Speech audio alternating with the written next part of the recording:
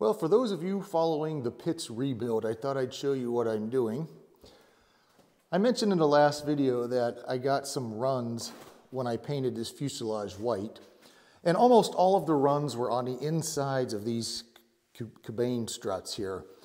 So what I just did is I sanded off all of the runs and then scuffed everything up. And what I'm going to do next is just tape everything off because I'm going to repaint from basically the, the top of the fuselage here up.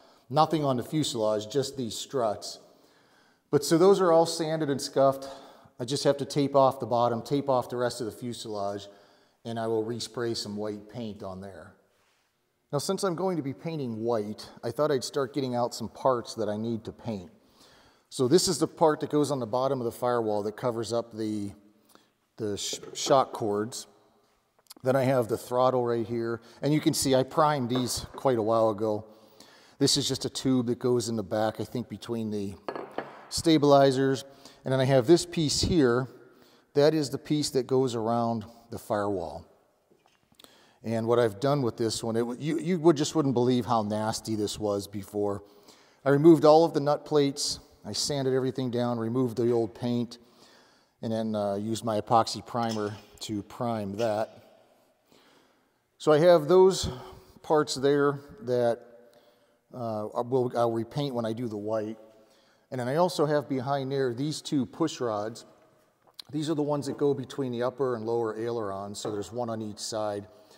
And I just didn't like how the, the paint looked on here.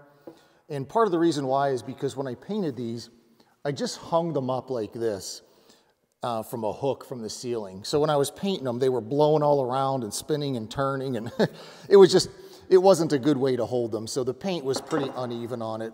So I, I sanded all that down, and then I'll just shoot another coat of white on there. Then I'll show you what I'm doing with these two pieces. This is the inside of the turtle deck. So it's laying on here upside down right now. And the first thing I had to do with this was on the outside of it, this was completely covered with glue because the fabric gets glued to the skin. So I had to get some MEK and remove all of that glue that was still on the skin. Now, even though a lot of this will never be seen, I obviously want it to be as perfect as I can get it. So all of the corners I have rounded off, I've sanded, I've cleaned up with sandpaper. This inspection hole wasn't even deburred when they cut it out so I'm sanding that nice and smooth so when you reach your hand in there, you don't scratch your hand or cut your hand. And those burrs obviously should be removed anyway. Then what I've done after I've cleaned up the entire edge and even on these uh, round pieces here on the back, these are kind of bent up because remember this is upside down. When it goes on the airplane like that, this is the outside and it curves up this way. And that's just because the fabric will continue on to the back of the airplane from here. So it's nice that they curved this up uh, so there's not a sharp edge there on the, uh, the fabric. It kind of gives it a nice transition. But it was really wavy. I think what they did was they made a form block and just kind of pounded this with a hammer around. And so I used my little uh, edge forming tool to just kind of clean this up a little bit and smooth it out. And then again, I took my file and sandpaper all around there and fixed that. So this piece now is ready for primer. I won't do anything to the outside because the glue will spread on the outside. But on the inside here, I'm just going to use some primer to uh, just help protect it from corrosion and stuff. And they have, I couldn't get it perfectly clean. Oops, I keep kicking this uh, firewall part down here. But there's some things on here you'll see like this. I don't know what that is. It's some kind of glue or something, but I can't get it off, which, which is okay. I'm just going to prime right over it anyway. You can see it all along the, the edge there. Uh, again, it's the inside, it won't matter. Now this piece here, this is the inside of the turtle deck, kind of the baggage compartment in the Pitts. And I might have a picture I can put on the screen of before I started taking it apart. But they had uh, this little pouch riveted here for the, uh, the paperwork. Then they had uh, um, just a data plate and stuff right there. So I drilled out the rivets and removed those. If I don't have a picture, there was some Velcro spread around here for different things. I took that off. And my original plan was I was just going to get more aluminum and make, use this as a template and make a new one just because it was so nasty and dirty. But then I figured, yeah, I don't have to make a new one. It's fine. I'll just clean it up, sand it, and prime it and paint it. It'll look brand new. And that's what I did. It was really, really nasty back in here. So I've cleaned it all up. I haven't scuffed it up yet like I did with this. So I have to scuff this all up, and then I'll put the epoxy primer and white paint on here too, so that when you open up that little baggage compartment, it'll look really nice in there. In fact, I even have, check this out, I have these graphics I made on my computer. So imagine this is all white and this is red here. So I'm going to have that on the back wall of the, uh, the baggage compartment. While I was making that, I also finally made another N number to put on the panel. So that's done. But anyway, this piece right here, I wanted to show you this opening right here. Maybe if I put it up here, you can see it better. Uh, this is where the shoulder harnesses go back and they, there's a tube that goes here. They go around the tube and down into like the bottom of the fuselage and they connect to the tubes. But this, this square hole they cut out, I'm not sure if I took a picture of it before I, I opened it up, but it was crooked in here and it was just rough cut. They didn't round the corners and they didn't even round these corners.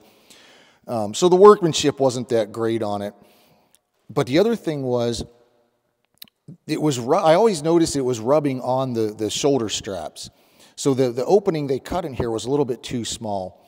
So what I did was I, I opened up this opening and then made it a little bit wider, a little bit this way, made it so it's straight and even, and I'll show you how I did it. You can see that original cutout they had. I don't know if you could tell, but it was it's crooked and very rough cut. So I drew a line straight across the top, even with the front edge. And then I just picked a, uh, a washer here that I thought would make a nice curve.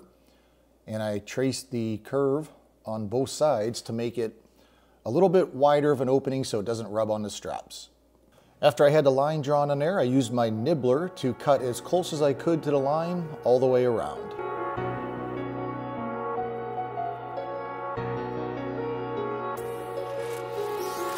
Empty hearts and neon lights playing with my mind. Gotta get out of here tonight. Oh, I wanna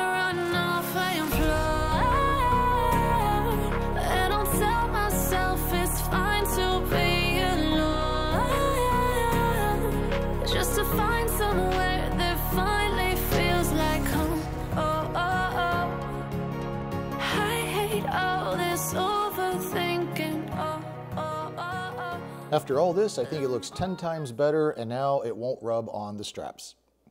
Now this corner of my hanger is most of the Pitts parts, except the cowl. That is the cowling for the Super Duty.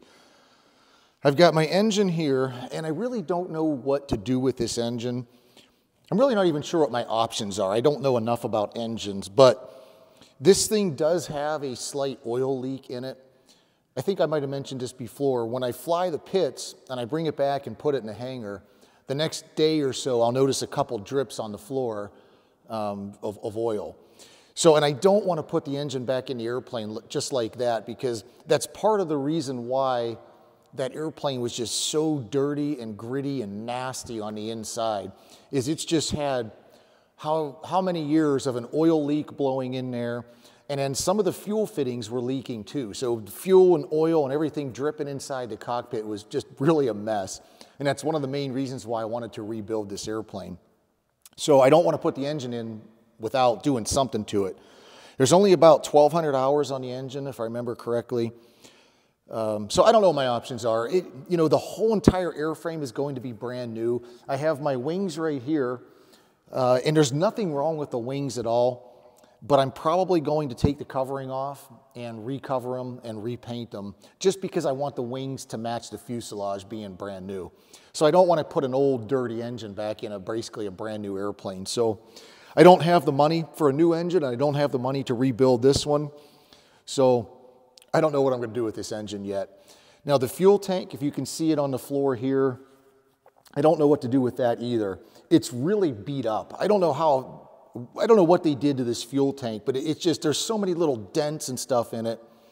And even where the strap, there's like kind of a little groove that's kind of into the tank where the, where the strap goes to hold it in there.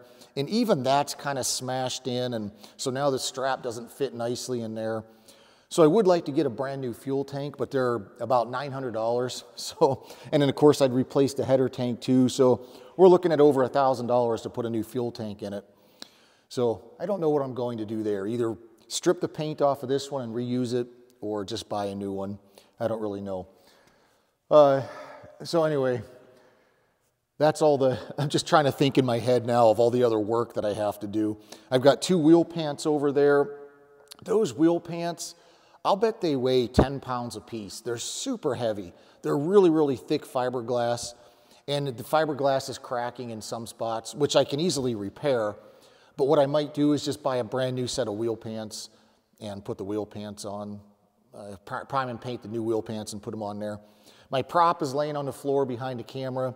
It's a fixed pitched metal prop, and that is super heavy too. It probably weighs 45 pounds or something like that. And I think what I'll probably do is get the Sensenich uh, ground adjustable composite prop and take some weight off of the nose. So just I'm sitting here thinking there's, you know, I kind of tore this airplane apart to rebuild it, not really thinking about what it's going to cost me to rebuild. And it's going to be quite expensive, especially the engine and a prop and fabric and paint. So who knows when it'll get done. You know, I'll do it little by little as I can afford to put some money into it. At the same time, I'm trying to finish up my Super Duty too. So I guess that's all I got for you on this update video. As I get the fuselage painted and some of the other parts uh, starting to get put back in the airplane, I'll make another update so you guys can follow along.